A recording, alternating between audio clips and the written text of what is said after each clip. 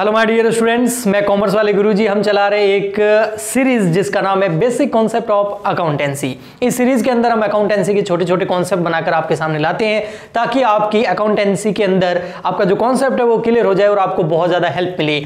आज का जो हमारा अकाउंटिंग कॉन्सेप्ट का जो हमने सीरीज़ चलाई है, उसमें आज का जो हमारा टॉपिक है, वो है accounting concept and assumption accounting की चार कॉन्सेप्ट और एजम्सन के बारे में इस वीडियो के अंदर हम बात करेंगे, जो आपके बड़े से बड़े न्यूमेरिकल क्वेश्चन सॉल्व करने में आपको हेल्प करेगी ये सब।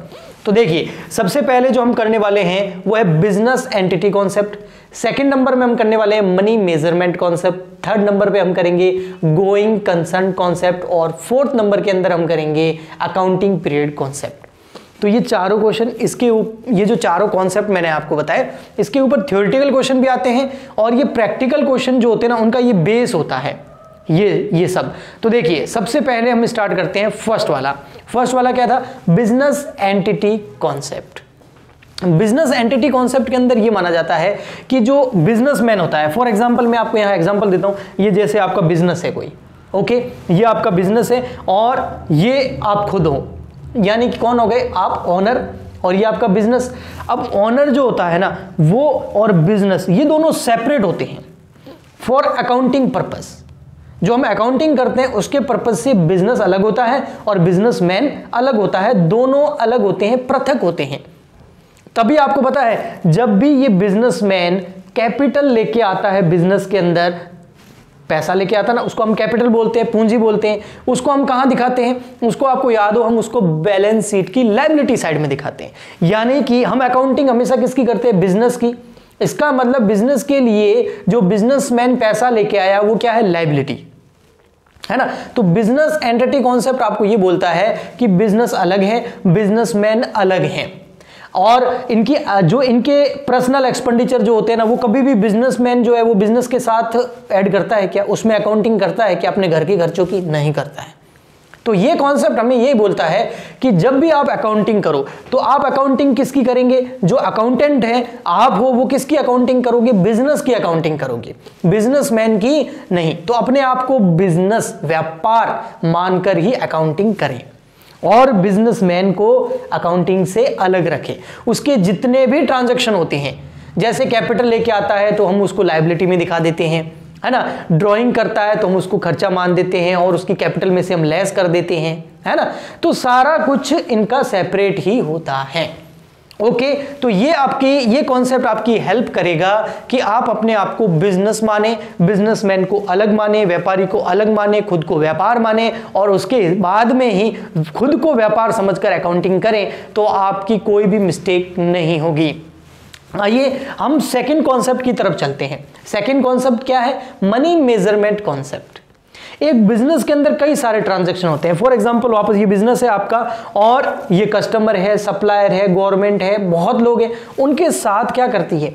बिज़नेस क्या करता है? ट्रांजेक्शन करता है सेल करता है परचेज करता है पेमेंट करता है रिसीव्ड करता है, बहुत कुछ चलता रहता है। लेकिन हम कौन से ट्रांजेक्शन को रिकॉर्ड करते हैं? यानी कि कई सारे व्यवहार होते हैं, लेकिन हम कौन से ट्रांजेक्शन को, कौन से व्यवहार को रिकॉर्ड करते हैं? किसकी अकाउंटिंग करते हैं? हम करते हैं फाइनेंशियल ट्रांजेक्शन की। वित्तीय विवरण की जो वित्तीय व्यवहार होते हैं, हम उनकी ही अकाउंटिंग एंट्रियाँ और अकाउंटिंग करते हैं। तो ये जो, ये कॉन्सेप्ट है मनी मेज़रमेंट कॉन्सेप्ट ये बोलता है, वो ट्रांजैक्शन जिनको पैसे में मापा जा सकता है, उसको ही आप अकाउंटिंग करो।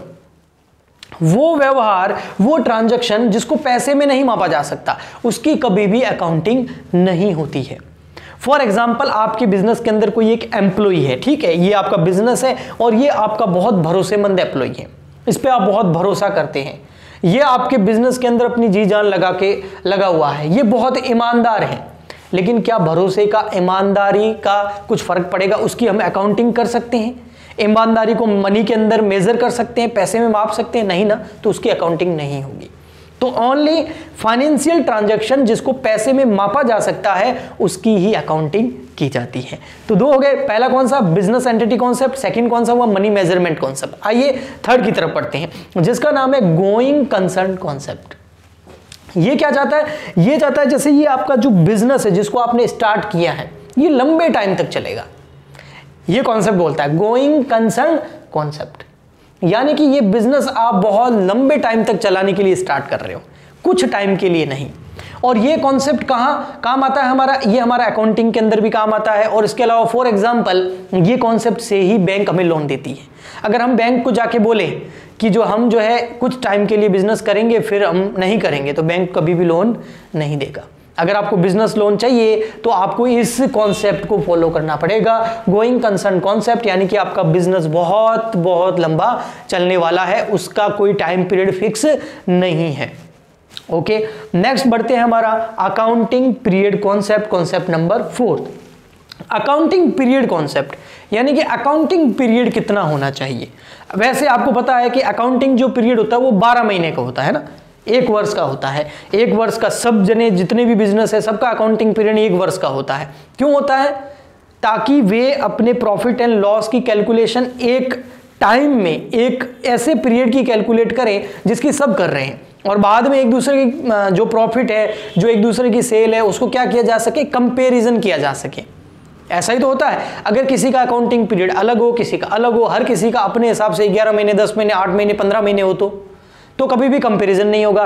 गवर्नमेंट को जो हम टैक्स पे कर रहे हैं, उसमें बहुत बड़ी प्रॉब्लम आएगी। इसलिए अकाउंटिंग पीरियड 12 महीने का एक वर्ष का होता है।